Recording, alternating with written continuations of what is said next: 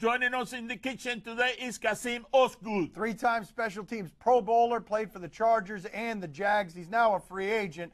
None of that is the reason we're having him on. We're having him on because he's a fun guy and he's got some insane stories. Let's talk to Kassim. What's the worst you've ever been lit up in a special teams wedge?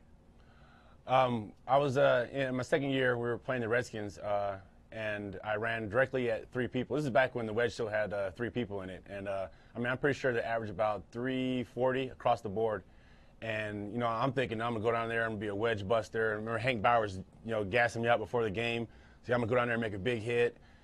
I ran directly into the center guy, and uh, unbeknownst to me, the guy that was to my right was come right at my lung. I mean, he he must have pounded my lung through through my back. Got up, you know, I, I kind of disrupted the play a little bit, you know, and we made a tackle and got him inside the 20 yard line. So all, all those all those were taken care of. But uh, as I'm walking back to the sideline, noticing I, I'm having trouble breathing a little bit, and all of a sudden I just start vomiting on the sideline, and there's Oh. blood mixing the vomit and everything. Oh. I, I look over at my trainer and I was like, I don't think I'm gonna make it. He's like, I just you got hit, all right. Just sit down a little bit. We'll get you squared away. You'll be back out there in no time. And I was like, I, and I remember in my head thinking like, you know, I don't know how long I'm gonna last in the league if I start keep doing this. What is the worst pain, physical pain, you've ever known in football? Um, uh, I got hit by uh, Ray Lewis, and uh, he wasn't even looking at me. He was running, and then he he caught me right on the chin, and I swear my neck just twisted right off. And uh, I was walking back to I was walking back to the huddle, and I looked at Drew, and I was like, Hey, am I is everything on correct? I you know, I feel like my helmet is like you know crooked or something. And he's like, No, buddy, he just got hit really hard. He said, Keep your head on a swivel next time. You'll be all right.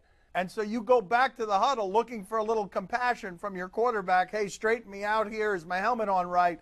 And he's not compassionate at all. No, no, Drew. Drew. If anybody knows Drew Brees, he's a competitor, and he's he told me, "Hey, buddy, look, you, you settle in the hole, and then you look, and then I get the ball to you." He said, "You keep drifting like that, you're gonna get your ass knocked out again." So he's like, "You just you gotta uh, next time pay attention, pay attention to details." Thanks, thanks, leader. Yeah, yeah. I'm just I'm in the huddle with my head down, and uh, just hurt. How would you describe your upbringing to a stranger? My upbringing was pretty pretty intense. I was the youngest of four boys, so uh, whether I was on a football field or at home, I was I was always getting uh, pummeled by somebody. So uh, I had to learn how to uh, uh, grow some thick skin really fast.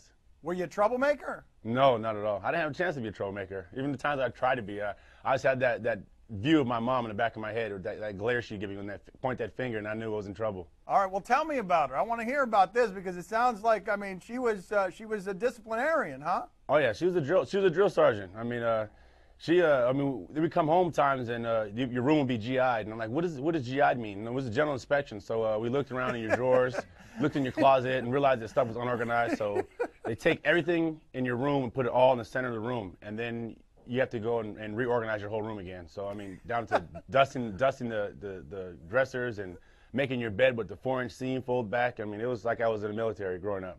How frequent was that? Too many times, in my opinion. One time is enough for me. But I mean, I I can remember about I can count about ten times on my hand that uh, it it happened. How tough is mom on you now? She's still tough. I mean, it's, I mean, who am I going out with? Where are you at? Uh, you make sure you get enough sleep. Are you studying your playbook? Did you get a good workout today? Make sure you're not eating this junk food. I mean, she she she stays on me pretty tough. But uh, I mean, it's enjoyable. Now I'm more like her friend, but uh, I still get the little, little harassment here and there. Did you uh, have the moment that athletes cherish so much where you were able to give her back for her investment and, uh, and the difficulties that there were in raising you as a single mother? Oh, definitely. Yeah, I remember I bought her, uh, I bought her a nice car, and her first thing she said was, "You can't buy me. I'm still gonna be riding you every day."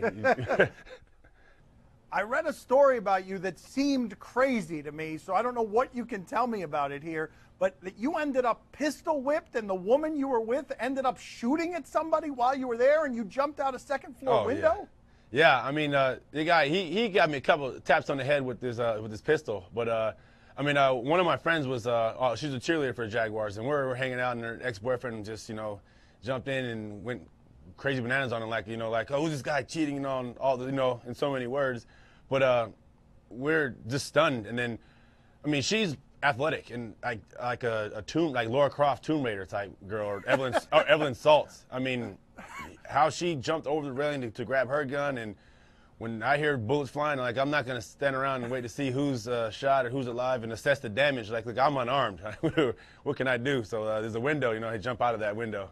Can, can I hit rewind on that for a second? Because that Oh, yeah. sounds insane. What you just described Yeah. sounds totally insane. We got a jealous boyfriend situation. He's waving a gun, and the woman that you're with starts shooting at him. Yeah, I mean, uh, she had had a gun on the, on the counter, and I, when I first walked in the house, like, oh, what's that? I was like, oh, you know my dad. He just, you know, I gotta have it out. You know, I'm by myself here. He's, he's like, she's like, yeah, you're, uh, don't worry about that. It's okay. And I'm like, yeah, okay, that's a, a gun there. So, uh, I mean, when when I seen her jump over the railing, I was like, oh man, no, she's she's done. Then I hear her land, and then I see the grab the gun, and I was like, oh, this is it's something like I, I was waiting for like a, a a camera to come out, like, hey, you know, you you, you got punked by uh, one of your teammates or somebody you know. So I thought I was on TV or something at first, and then it hit me in the reality of when I heard the gunshots go. I was like, oh man, here we go. And you were terrified, right? I mean, you were totally Oh. terrified. Definitely, especially when you're unarmed. Like everybody, how, everybody else has a gun. and I don't. I'm looking for like, you know, is there an extra gun laying around? You know, is uh, some a gun still in the package I can, you know, open up in case of emergency?